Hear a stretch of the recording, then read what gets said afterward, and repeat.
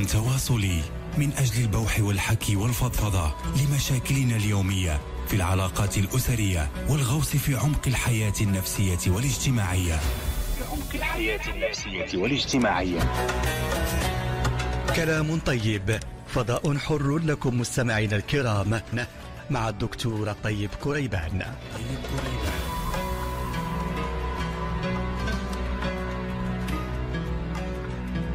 الله الرحمن الرحيم. الحمد لله رب العالمين والصلاة والسلام على مولانا رسول الله وعلى آله وصحبه أجمعين. وبعد أيها الأحبة الكرام السلام عليكم ورحمة الله تعالى وبركاته. حديثنا الليلة كيف ترزق بغير حساب؟ ربنا عز وجل يجيبنا على هذا السؤال بآية قرآنية مفصلة في كتابه العزيز. فيقول جل علاه بعد بسم الله الرحمن الرحيم ومن يتق الله يجعل له مخرجا ويرزقه من حيث لا يحتسب. ومن يتق الله يجعل له مخرجا ويرزقه من حيث لا يحتسب. تقوى الله سبحانه وتعالى هي باب من أبواب الفرج وهي مفتاح من مفاتيح العطاء. بعض الناس يظنون أن نيل المطالب وبلوغ المراتب دوما تعتمد على الأسباب والمسببات وعن العلل والمعلولات. هذا ما يقتضيه المنطق العقلي والمنطق الواقعي. ولكن فوق المنطق العقلي والواقعي هناك عالم رباني نوراني أيضا نعيش في هذه الحياة الدنيا. هناك عالم الملك وهناك عالم الملكوت والكل يتفاعل إما إيجابا أو سلبا. فمثلا من أسباب الرزق والعطاء والكرم والجود أن العبد المؤمن إذا كان متقيا ربه سيعطيك الله وإذا أعطاك سبحانه أدهشك. ما معنى ومن يتق الله؟ يخشى الله تعالى ويضع هيبته نصب عينيه ودائما يتفكر ويتذكر في جلاله ويخاف ويخشاه ويعظمه في قلبه. هذه التقوى. قيل عنها هي الخوف من الجليل والعمل بالتنزيل والرضا بالقليل والاستعداد ليوم الرحيل. من حضرت هذه المعاني في قلبه فإن الله تعالى يمكنه من الدنيا. في الحديث القدسي يقول رب العزة يا دنيا من خدمك فاستخدميه ومن خدمني فاخدميه. هذه الدنيا بما فيها من واقع اقتصادي واقع اجتماعي واقع سياسي واقع جميع جميع الأنماط الحياة. كل هذه الدنيا. من خدمها ربنا قال لها يا دنيا من خدمك فاستخدميه. اجعليه يجري خلفك جري الوحوش في البرية ثم لا ينال إلا ما كتبت له. ومن خدمني فاخدميه. من خدم الله وخدم دينه وعمل بمقتضى مرضاته فاخدميه. الدنيا تقول لك ها أنا بين يديك خذني إليك. والواقع يشهد بأن هذا المبدأ صحيح. مبدأ رباني حقيق. ولنا في الوقائع والأحداث التي مرت في التاريخ أكبر شاهد. نذكر منها اليوم قصة لصحابي جليل. كان يعاني جميع أنواع الكروبات. أغلقت الدنيا أبوابها في عينيه شعر بالفقر وكان يشعر بالذل والمهانة ولكن لما اتبع هذا المبدأ ما الذي وقع له؟ هذا الصحابي الجليل هو سعد الأسلمي يلقب سعد بن أسلم الأسلمي رضي الله عنه وأرضاه وكان يلقب بجليبيب. هذا الصحابي الجليل لما بزغ نور الإسلام كان هو عبد من العبيد. كان يعيش مع الإماء والعبيد في الذل والمهانة. وكان هذا الرجل قد صوره الله صورة لا تنال إعجاب الآخرين. كانت صورته ذميمة. كان أفطس الأنف جاحظ العينين أسود البشرة. وكان فقيرا. وكان مها وكان مدلولا. وكان عبدا من العبيد. لم يفرح في حياته ولم يسعد. ولما سمع بالدين الجديد أن هذا الدين سوى ما بين العبيد والأسياد ما بين البيض والسود لا فرق بين أعرابي ولا أعجمي ولا أبيض ولا أسود إلا بالتقوى سر بهذه المبادئ السامية فاعتنق هذا الدين. ولكن في الأول اعتنقه على مضض. إلى أن نزل على قلب النبي الأمين سيدنا محمد صلى الله عليه وسلم هذه الآية الكريمة. وهي قوله تعالى ومن يتق الله يجعل له مخرجا ويرزقه من حيث لا يحتسب. لما نزلت هذه الآية سأل عن معناها ما معناها؟ قالوا له إذا كان الإنسان يعيش في كروب وفي شدائد وفي صعوبات ولم يجد مخرجا ما عليه إلا أن يتقي الله وليترك الباقي على المولى جل علاه هو سبحانه وتعالى المدبر يدبر الأمر. فاقتنع بهذا الكلام وقال اللهم يا رب بحق قولك ومن يتق الله يجعل له مخرجا ويرزقه من حيث لا يحتسب. يا ربي إنك ترى ما أنا فيه من ذل العبودية والهوان والفقر وبدأ يذكر ويبكي بين يدي مولاه. ما هي إلا فترة قصيرة سيده وقع في خطيئة فسأل عن كفارتها فقيل له عتق رقبة مؤمنة.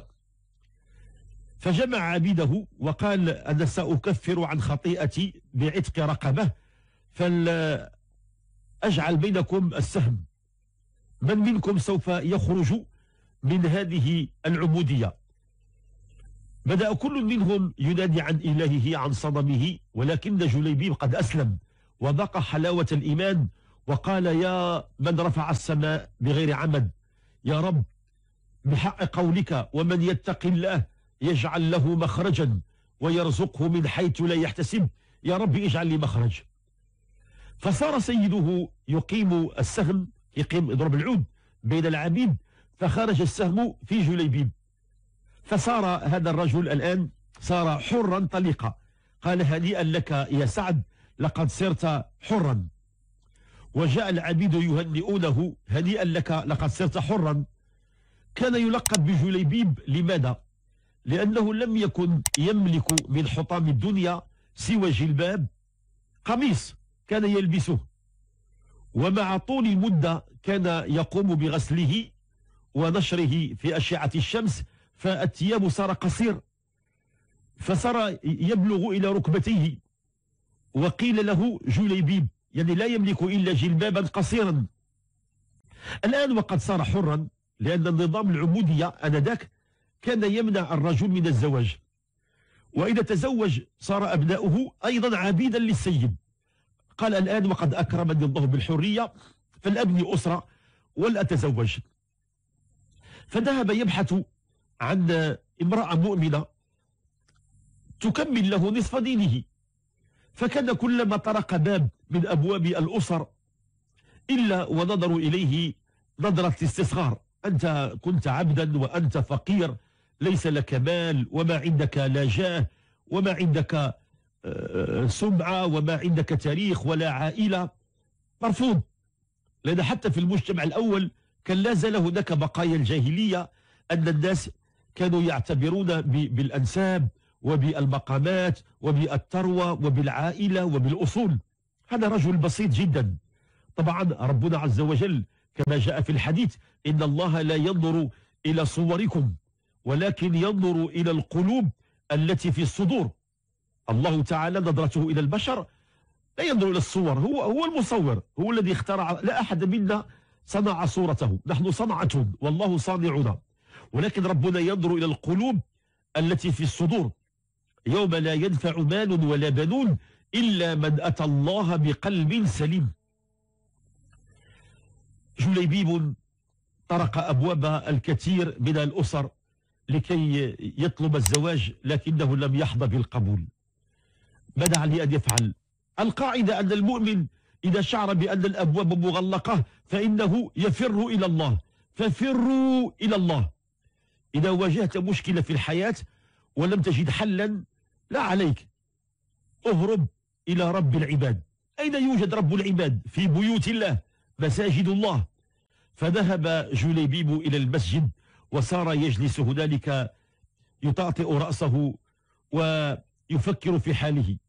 كل مرة يصلي الناس يخرجون إلى متاجرهم بعد أن يفرغوا من الصلاة أو يذهبوا إلى بيوتهم لكن جليبيب يبقى خلف سارية يجلس هناك. فرمقه النبي المصطفى صلى الله عليه وسلم. رآه المرة الأولى والثانية والثالثة ونظر إليه فعلم أنه حزين. سيدنا النبي محمد ابن عبد الله رسول الإسلام خير البرية. كان يصلي بالناس وكانت عينه كانت تطوف وترى مشاكلهم وهموم الناس. وكل من عنده مشكلة كان يتدخل لإيجاد الحل المناسب. لما رأى جليبيب حزينا كل مرة يمكث في المسجد خلف السارية يطأطئ رأسه علم أنه يجابه مشكلة كبيرة. في اليوم الأول الثاني الثالث ذهب إليه النبي الكريم وربت على كتفه وقال السلام عليك يا سعد. قال وعليك السلام يا سيدي يا رسول الله وأراد أن يقبل يده. سيدنا النبي خطف يده وعنقه وقال ما لي أراك هكذا حزينا؟ ماذا أصابك يا سعد؟ قال يا رسول الله لا شيء فقط أنا أعيش في ذكر الله ومع حالي قال له لا أخبرني أخبرني يا سعد ماذا في صدرك؟ أرى حزنا عميقا في عينيك. قال يا رسول الله الحقيقة لا أخفيها عليك. أنا كنت عبدا فأنجاني الله تعالى من العبودية وصرت الآن حرا طليقا. أردت أن أستكمل نصف ديني أريد أن أتزوج ولكن لا أحد قبل طلبي. كل من طرقت بابه إلا وينظر إلي ويقول لي كلمة طيبة ثم يصرفني. فتبسم النبي صلى الله عليه وسلم وتحدث إلى بعض جلسائه من الصحابة معاذ بن جبل وغيرهم. قال لهم بربكم أخبروني. من هي الفتيات الجميلات الحسنوات اللي هما جمعوا الجمال والدين والخلق والعلم وبنات البيوت الكبيرة؟ من تكون؟ قالوا هناك فلانة وهناك فلانة بنت فلان وفلانة بنت فلان. عددوا له أربع خمس عائلات كبيرة له فتيات في سن الزواج ليختار منهن النبي صلى الله عليه وسلم فاختار الأجمل والأصلح والأكرم. فتاة تنتمي إلى أسرة عريقة وعندهم مال وفير وعندهم أصول وعادات رفيعة عند العرب وعندهم أموال وهي في غاية الجمال والأدب والخلق ويتبناها الفرسان وكبراء القوم. تبسم النبي صلى الله عليه وسلم وقال يا سعد اذهب عند فلان ابن فلان. قل له إن النبي صلى الله عليه وسلم بعثني إليك لأطلب منك يد ابنتك. قال يا رسول الله أنا, أنا فقير وأنا إنسان بسيط أنا لا أطمح أن, أن أرقى إلى هذه البيوتات. أنا بغيت غير شي حالة على قد جدي وعلى قد جيبي وعلى قد القدرة ديالي. قال لي اذهب ولا عليك ربك سيفتح لك الأبواب. فلم يصدق جليبيب فقال لعل هذا من بركة قول الله تعالى ومن يتق الله يجعل له مخرجا ويرزقه من حيث لا يحتسب. قال سبحان الله أنا كنت أطمح لأتزوج بفتاة بسيطة من عائلة آه، متواضعة. فها هو رسول الله صلى الله عليه وسلم يرشح لي يعني رسق أجمل وأكرم وأعظم بيت في أجمل فتاة وأكرم فتاة. فذهب جليبيب وقلبه يخفق حتى وصل إلى بيت العروس المطلوبة. بيتهم كبير شاهق وهناك خدم وحشب وكان يشم رائحة الطبخ. فقال هذه البنية تعيش في كرم وفي عز فكيف أصنع لها؟ أتزوجها؟ أين أسكنها؟ وهل أخذها من بيت أبيها؟ بيت العز والكرم إلى كوخي المتواضع بدأ يجادل نفسه. ثم بعد ذلك تجرأ وطرق الباب. طاق طاق طاق. من الطارق. آه، قال لهم إنه سعد بن أسلم. لما رأى جليبيب أهلا مرحبا كان يظن أنه جاء لحاجة من الحوائج أو صدقة من الصدقات أو مساعد من المساعدات. قال لي ماذا وراءك؟ قال أنا جئت لطلب ربما قد يكون فيه إزعاج لكم. قال أطلب ما تشاء. قال جئت أطلب يد ابنتكم المصونة سليلة الأكابر بنتكم الفاضلة جئت أطلبها للزواج. الوالد والد هذه الفتاة صدم. كان يظن أن جليبيب جاء يطلب إحسان أو صدقة أو مساعدة لكن طلب منه فلدة كبده وقرة عينه. وهذا الرجل كان يعز فتاته وكان يتمنى أن يأتيها الفرسان الكبار أمير من الأمراء أو شاعر من الشعراء أو عظيم من العظماء. ولكن جاءها رجل كان عبد من العبيد. فقال له أنا لم أكن لآتي من تلقاء نفسي. ولكن رسول الله صلى الله عليه وسلم هو الذي بعثني إليكم وقال لي قل لهم واطلب منهم يد ابنتهم. الصحابي الجليل شعر بحرج أبو الفتاة. بدأ يفكر ويضرب أخماس في أسداس ويقول يا جليبيب رسول الله صلى الله عليه وسلم يأمرنا بالصلاة نصلي. يأمرنا بالصيام نصوم. يأمرنا بالزكاة نزكي. يأمرنا بالجهاد نجاهد. ولكن أن يأمرني بأن أزوج ابنتي لرجل مثلك والله ما أرى هذا من الدين. ربما هذا هذا شفاعة من الشفاعات. فطأطأ الرجل رأسه وعلم جوليبيب أن طلبه مرفوض ثم خرج. من الباب. الفتاة كانت على خلق وعلى علم وعلى فقه كانت تستمع للحوار من وراء حجاب. فسألت والدها يا أبتي ماذا يريد هذا الرجل؟ قال إنه جاء يطلب يدك. قالت يا أبتي هل قبلت أم رفضت؟ قال يا بنيتي وهل مثل هذا يقبل؟ فقالت الفتاة في ثبات ويقين يا أبتي أترفض شفاعة رسول الله؟ ألا تخشى أن تنزل فينا آية لما سمع هذا الصحابي هذه الكلمات فعلا شعر بالخوف والخجل لأن القرآن آنذاك كان يتنزل من السماء. فكل من فعل خطيئة ينزل فيه قرآن يتلى إلى قيام الساعة كما وقع لأبي لهب. تبت يد أبي لهب وتب وغيرهم من من المشركين كالوليد بن المغيرة. لنزل في قوله تعالى آه، آه، كلام طويل وعريض. أن كان ذا بارد وبنين إذا تتلى عليه آياتنا قال أساطير الأولين سنسيم على الخرطوم. كل من فعل خطيئة ينزل فيه قرآن. فخشي هذا الصحابي الجليل أبو العروس أن ينزل فيه قرآن. فتبع جليبيب جليبيب كان قد وصل إلى المسجد ليرتاح هناك ليس له مأوى إلا بيت الله. فإذا به يصل إلى المسجد ورسول الله داخل المقصورة فقال يا جليبيب لقد وافقت لزواجك ببنيتي سأعطيك البنية. فقال جليبيب لا لا لا, لا, لم أعد أرغب. أنا إنسان بسيط ولست في المستوى وبدأ يعتذر والرجل يقول والله لأزوجنك ابنتي. إن أنت عريسها لن أرفض. لقد لقد شفع لك رسول الله صلى الله عليه وسلم فلما رأى النبي ذلك المشهد سر وفرح وتبسم. قال الحمد لله الذي وفق جليبيب للزواج بهذه الفتاة وأبو العروسة قد وافق والأهل قد وافقوا. ففرح النبي الكريم وعانق جليبيب وتبسم جليبيب ولم يكن يعتقد بأن هذا الخير يعم عليه. ها هي الفتاة أجمل وأكرم فتاة في المدينة.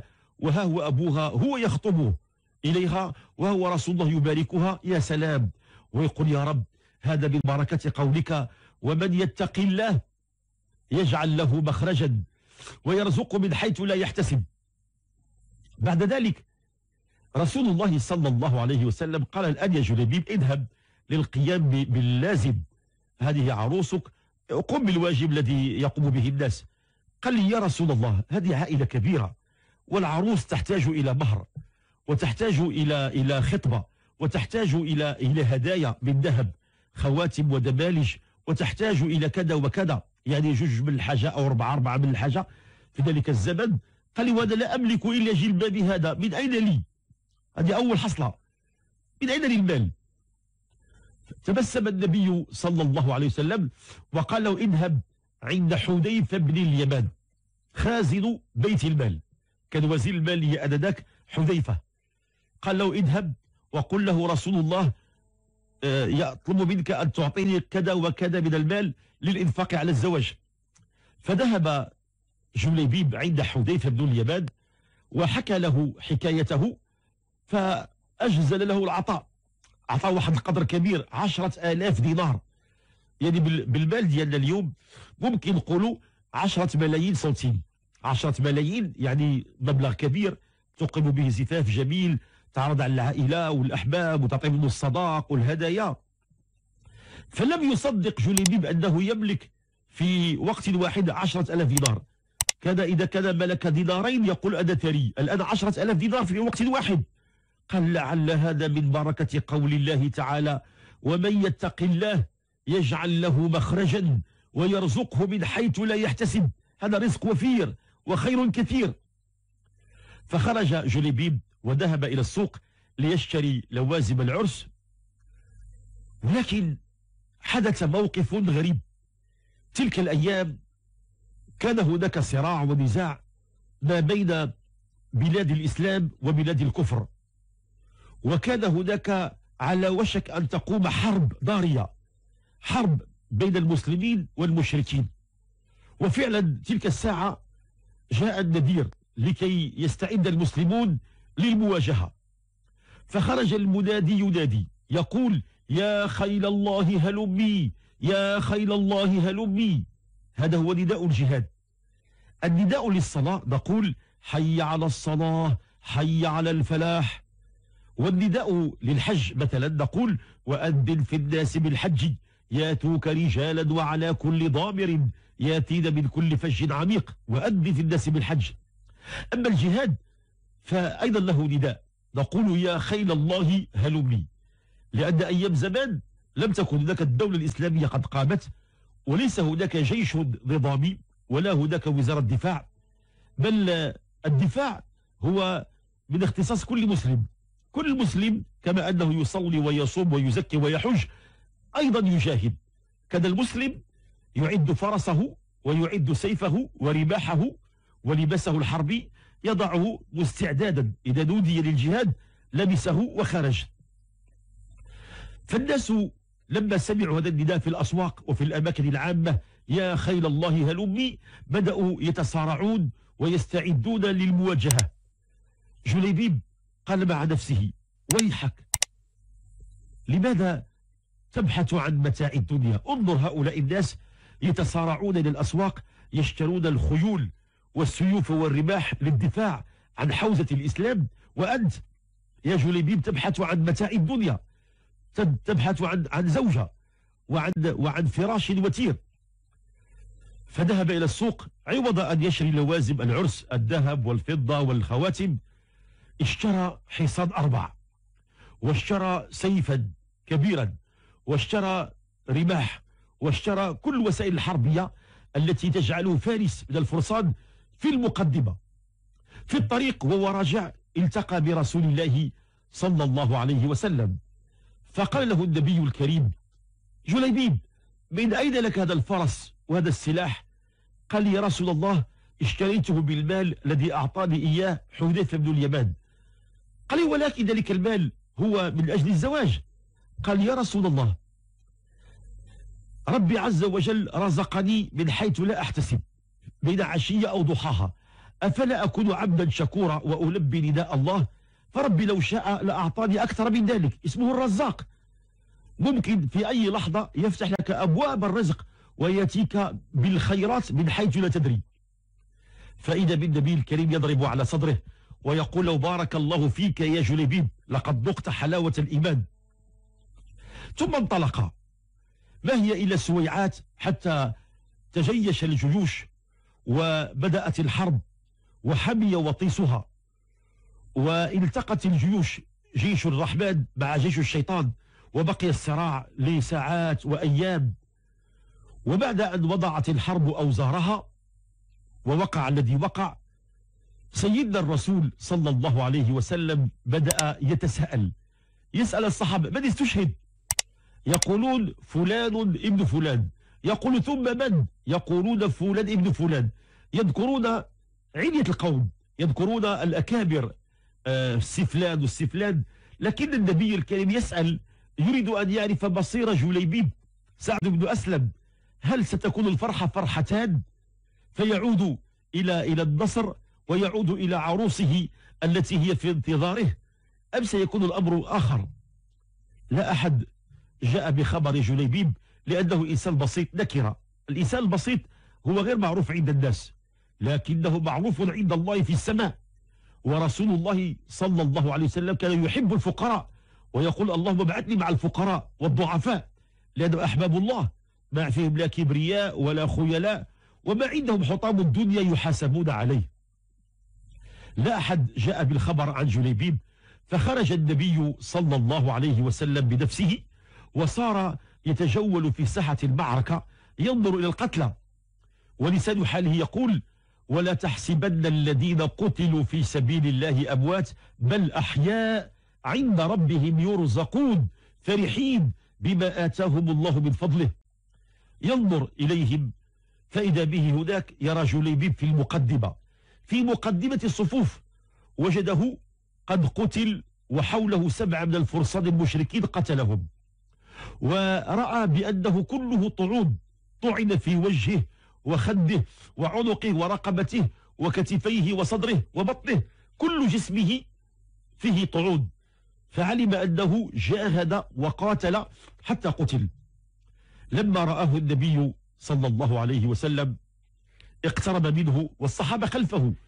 لما رآه في الأول سيدنا النبي بكى حتى رأوا الدموع تهطل من خديه وتبتل بها لحيته الطاهرة. وبعد لحظة سيدنا النبي بدأ يضحك ويبتسم وينظر. وفي لحظة سيدنا النبي أشاح بوجهه غض بصره بدأ يغض بصره ويغمض عينيه. فالصحابة تعجبوا يا رسول الله في لحظة بكيت حتى ظننا أنك حزين. وبعدها مباشرة بدأت تبتسم وتضحك حتى رأينك فرحا. ثم بعد لحظة بدأت تشيح بوجهك وتغمض عينيك. ما الذي جرى؟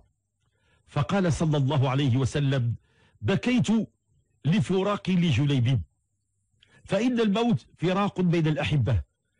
نحن لازلنا في دار الفناء وهو انتقل إلى دار البقاء. فبكيت للفراق. ولما كشف لي الله تعالى ستار الغيب رأيت قصره في الجنة رأيت قصرا عظيما قصرا مشيدا فيه خيرات وفيه نعيم لا يعد ولا يحصى. فقلت لمن هذا القصر العظيم؟ فقيل لي إنه لجليبيب. ففرحت وضحكت وتبسمت واستبشرت خيرا. قالوا لي ولماذا أغمضت عينيك؟ قال لما رأيت نساء حسنوات جميلات من الحور العين قلت لمن هؤلاء الحسنوات؟ قيل إنهم حور جليبيب فغضيت بصري عن محارم الله. غضيت بصري عن محارم الله. فتعجب الصحابة رضي الله عنهم كيف أن هذا الصحابي في تلك الليلة ربنا عز وجل لم يجعله ينتظر حتى البعث والنشور. هناك أهل الله ربنا يطوي لهم الزمان ويطوي لهم المكان ويجعلهم من القبور إلى القصور. أي نعم هناك البعث وهناك النشور وهناك الحساب وهناك المرور على الصراط ولكن هناك قوم من القبور إلى القصور. منهم الشهداء في سبيل الله ماتوا لإعياء كلمة الله ومنهم كل من كان من الكاظمين الغيظ العافين عن الناس وأيضا منهم من حسن خلقه أصحاب الأخلاق الكريمة. ومنهم أيضا أصحاب العطاء والكرم والجود كل هؤلاء من القبور إلى القصور. فقال صلى الله عليه وسلم كلمته الذهبية قال جليبيب مني وأنا منه من أحب جليبيب فقد أحبني. ثم تذكر الصحابة رضي الله عنهم ما هي الآية الكريمة القرآنية التي كانت تؤطر فكرة وسلوك جريبيب آية واحدة. من ستين حزبا. آية واحدة كانت تكفيه وهي مفتاح الفرج. وهي قول الله تعالى ومن يتق الله يجعل له مخرجا ويرزقه من حيث لا يحتسب. نسأل الله تعالى أن يرزقنا وإياكم التقوى وخشيته ومخافته. نسأل الله تعالى ببركة التقوى أن يفرج الهم عن المهمومين وينفس الكرب عن المكروبين ويقضي الدين عن المدينين. ويشافي مرضانا ومرضى المسلمين ويبلغنا مقصودنا ويحقق رجاءنا. إنه سميع قريب مجيب. وصلى الله على سيدنا محمد وعلى آله وصحبه أجمعين. الله. السلام عليكم. لا تنسوا الإعجاب بالفيديو والاشتراك في القناة. تشجيعا لنا لنستمر بنشر المزيد إن شاء الله.